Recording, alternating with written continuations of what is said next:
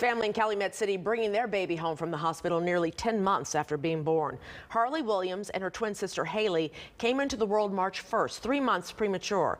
Haley lived only nine days. The parents didn't expect Harley to make it either. But even though she weighed just one pound, four ounces at birth, this little fighter beat the odds. After open heart surgery, she now is expected to be home next Wednesday.